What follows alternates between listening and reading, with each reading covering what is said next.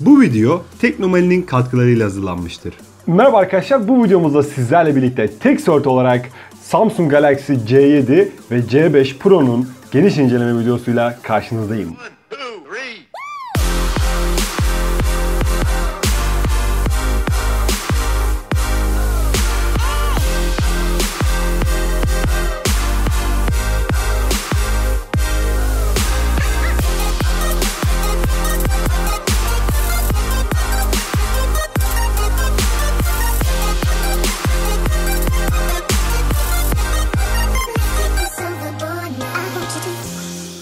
Daha öncesinde kanalımızda C7 ve C5'in incelemesini gerçekleştirmiştik ve çok güzel bir ilgi görmüştü. Çok beğenilmişti video. Ardından C7 ve C7 Pro satışa çıkınca da sizlerden gelen talep doğrultusunda C7 ve C5 Pro'yu da sizler için incelemeye başlayalım isterseniz.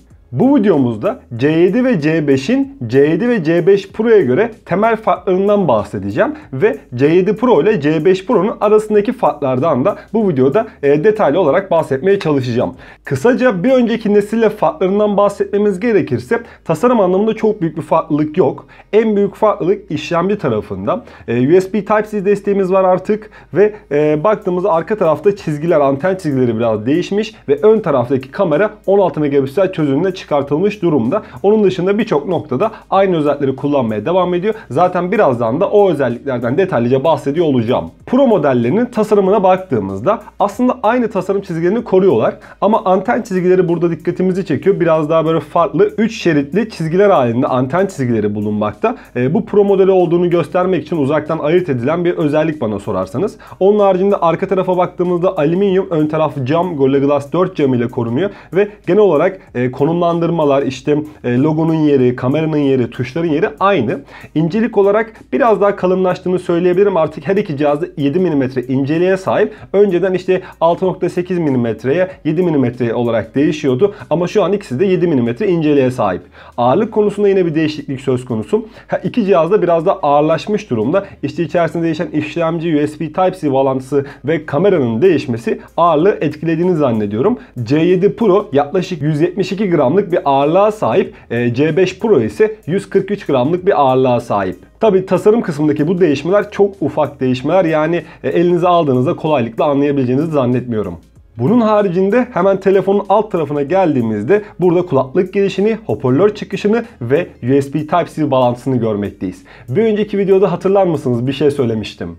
Ama C5'te fena bir telefon değil arkadaşlar. Her iki cihazda makro USB girişine sahip. Ee, belki bir de Type-C olabilirdi. O da hiç fena olmazdı. Type-C ile de gelseydi güzel olurdu. Ama çok fazla şey istemeye başladım ben. O yüzden susalım biraz. Evet Samsung sanırsam bizi duymuş olsa gerek ve artık USB Type-C bağlantısına bu telefonda yer vermiş durumdalar. Yani çok fazla şey istememişiz aslında biz. Olabilecek bir şeymiş ve Samsung burada USB Type-C bağlantısına da yer vermiş ve bizim isteğimizi de kırmamış oldu burada. Ekran kısmı ile devam etmemiz gerekirse bir önceki nesille aynı ekranları kullanıyorlar. İkisinde de yine Full HD çözünürlüğünde ekran bulunmakta. C7'de 5.7 inç, C5 Pro'da ise 5.2 inç büyüklüğünde ekran bulunmakta. PPR yoğunlukları vesaire her şey aynı. Yine aynı ekran olduğunu söyleyebilirim. Hem bir önceki nesille hem de kendi aralarında ekranların renk doğrulukları ve kaliteleri aynı arkadaşlar. Ekrana gelen yeni bir özellikten biraz bahsetmek istiyorum. Always On özelliği. Samsung'un üst seviye telefonlarında olan Always On özelliği artık C7 ve C5 Pro'nun içerisinde hazır olarak gelmekte ve Always On'u ekran açık olarak kullanabiliyorsunuz. Biraz kısıtlamışlar Always On'u. Fazla çok değiştirme yapamıyorsunuz, özelleştirme yapamıyorsunuz. Ama Always On desteğinin gelmiş olması da sevindirici özelliklerinden bir tanesi. Bunun haricinde herhangi bir ön tarafta çerçevelerde incelme, kalınlaşma, farklılaşma herhangi bir şey söz konusu değil. Aynı e, önden baktığınızda da arkadan baktığınızda da önceki nesile çok fazla benziyor. Gelelim cihazların arayüzüne. İki cihazda da Android 6.0.1 bulunmakta. Bir önceki nesilde de yine aynı arayüzü kullanıyorlardı. Aynı Android sürümünü kullanıyorlardı. Sanki bir takım küçük değişmeler var. Yani çok fazla dikkat etmedim arkadaşlar. Öncesini çok iyi hatırlamıyorum. Ama klasik Samsung arayüzü e, şu anda güzel çalışıyor, stabil çalışıyor. Sorun yok. Ama ilerleyen zamanlarda işte 1,5-2 yıl sonra böyle kasma donmalar olacaktır ama format attığınızda muhtemelen onlar gidecektir. Ki bu telefonlar bence güncelleme desteği de alacağını tahmin ediyorum. E, zaten internette C5 Pro hakkında Android 7 ile geldiği söyleniyor. Şu an bende 6.0.1 var. E, güncelleme ile muhtemelen 7'ye de çıkacağını tahmin ediyorum iki cihazın da. Bunların haricinde eski cihazlarda da olan bu cihazlarda da Pro modellerinde de yerini koruyan parmak izi okuyusuna değinelim isterseniz. Parmak izi okuyusu yine konumlandırılmış durumda home tuşun üzerinde ve bu sefer şöyle bir özellik eklenmiş. Herhangi bir klik işlemi yapmadan Samsung'da biliyorsunuz bir klik yaparsınız üzerine bekletirsiniz cihaz açılır. Artık öyle bir işlem yapmadan sadece parmağınız üzerine getirip beklettiğinizde hiçbir klik işareti yapmadan o tuşu eskitmeden arkadaşlar ekranı açabiliyorsunuz. Güvenlik seçeneği olarak parmak izini kullanabiliyorsunuz.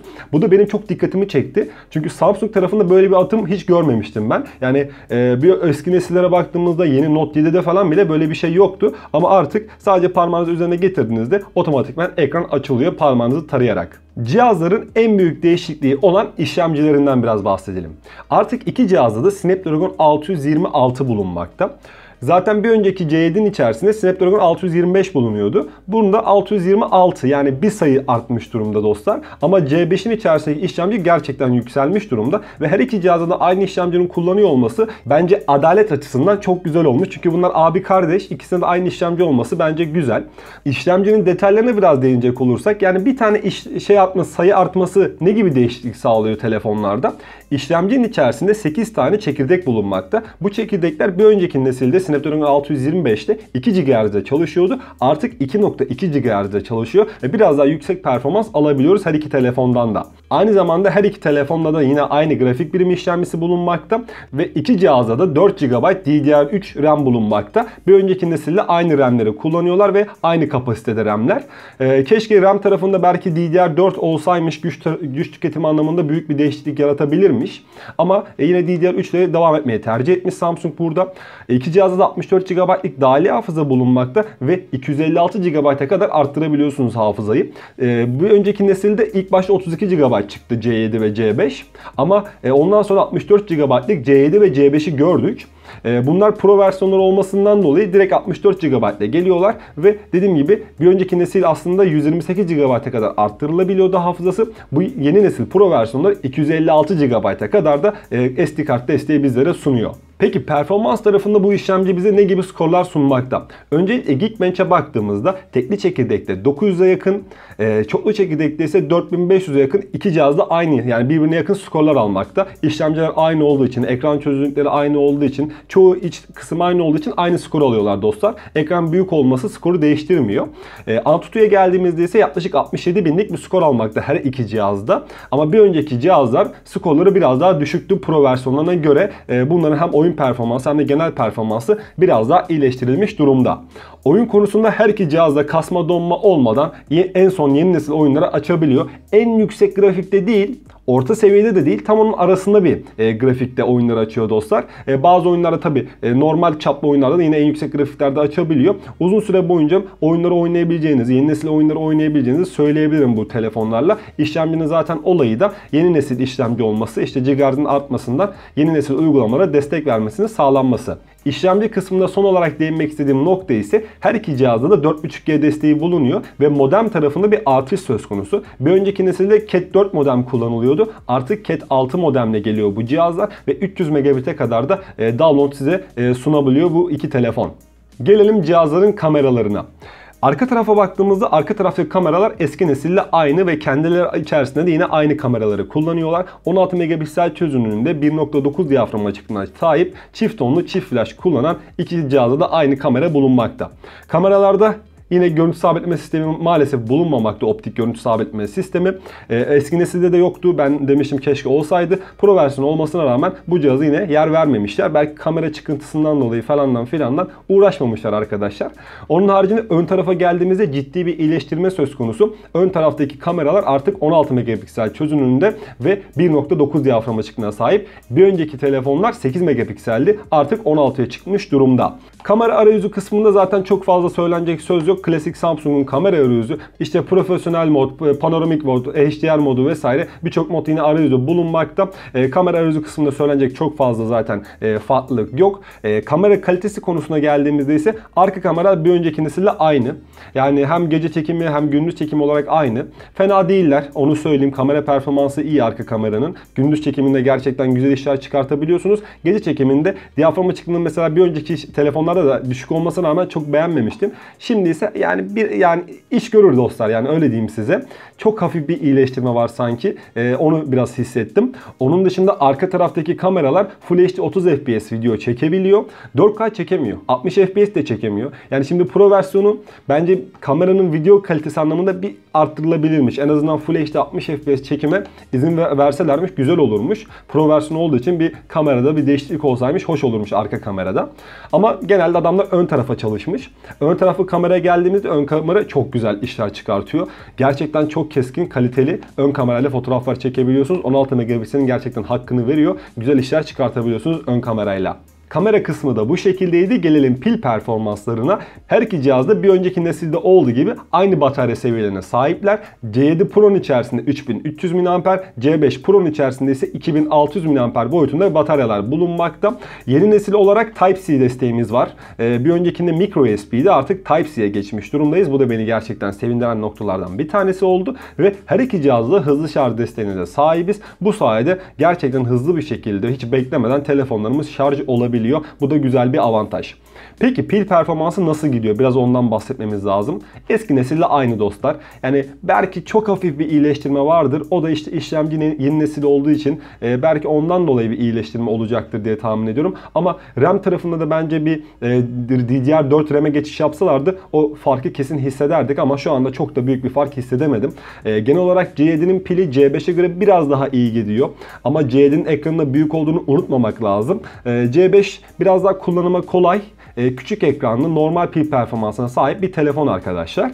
E, pil performansı bu şekildeydi. Gelelim ses kısmına. Ses kısmında e, aslında aynı kaliteye sahipler. C5'in ses kısmında herhangi bir değişikliği yok dostlar. Aynı altta bir mono bir hoparlör bulunmakta. Ses yüksek, e, kalitesi normal ama e, işinizi görecektir diye tahmin ediyorum. Bu seviyedeki bir telefon için yeterli.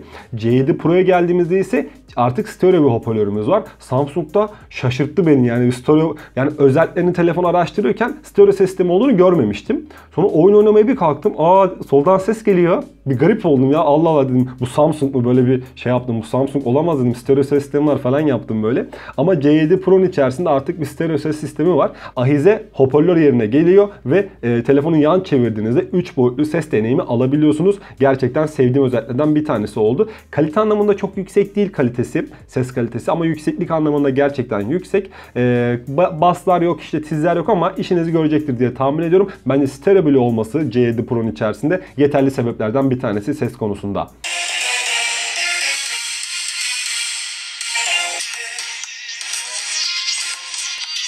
Son olarak fiyatlarıyla devam edelim isterseniz cihazların. Temmuz ayındayız. 2017 Temmuz ayında. Ee, C7 yaklaşık 1500 TL civarında. C5 Pro ise yaklaşık 1300 TL civarlarında bir fiyata sahip. Ee, baktığımızda e, bu telefonların bir eskisinin 64 GB'lık versiyonlarıyla neredeyse aynı fiyata sahipler. E, bence alacaksanız C5 ve C7 Pro'ya tercih edin. Yani Pro versiyonunu alın. Çünkü işlemcinin iyi olması e, uzun ömürlülük açısından daha avantajlı ve yeni USB Type-C kullanıyor olmaları bence e, teknolojik anlamda daha yeni olmaları ve e, ömür anlamında daha uzun olmaları anlamına geliyor. E, Teknomali bizlere ulaştırdı bu telefonları. Öncelikle Teknomali'ye de teşekkür ediyorum bizlere ulaştırdığı için incelememiz için. C7'yi de sağ olsun Teknomali vermiştim. E, Oradan alabilirsiniz. Güvenilir bir yer tavsiye ederim. Gidip görüp alabilirsiniz. Gitmeden de Facebook sayfaları üzerinden hemen açıklama kısmında bulunan Facebook sayfaları üzerinden telefonların güncel fiyat bilgisini, stok bilgisini sorabilirsiniz. Ee, ve 2 yıl boyunca resmi garantili bir şekilde C7 ve C5 Pro'ya sahip olabilirsiniz. Evet videonun sonuna geldik sayılır. Ee, bir de şundan biraz bahsedeyim. Muhtemelen aklınıza takılacaktır ve bizi izleyen muhtemelen C5 ve C7 kullanıcıları da vardır diye tahmin ediyorum. Pro versiyonuna geçmeye değecek bir şey var mı? Yani C7 ve C5 kullanan insanların C5 Pro'ya ve C7 Pro'ya geçmelerini gerektirecek bir şey var mı? Bence yok arkadaşlar. Ee, o yüzden rahat olabilirsiniz ama ilk defa telefon alacaksanız hiç e, böyle daha düşük model kullanıyorsanız J, J serisi işte E serisi falan kullanıyorsanız bu modellere geçebilirsiniz. Geçecekseniz de Pro versiyonlarını tercih etmenizi e, tavsiye ederim dostlar. Şimdilik iki cihaz hakkında da söylemek istediklerim bu şekildeydi. Umarım sizler için yararlı ve keyifli video olmuştur. E, ilginizden dolayı çok teşekkür ediyorum bir önceki videoda. Umarım bu videoda da hoşunuza gitmiştir. Hemen aşağı taraftan videoyu beğendiyseniz beğenmeyi, paylaşmayı ve kanalımıza abone olmayı unutmayın. Sosyal medya hesaplarımızdan bizleri takip edebilirsiniz. Şimdilik kendinize çok iyi bakın. Hoşçakalın.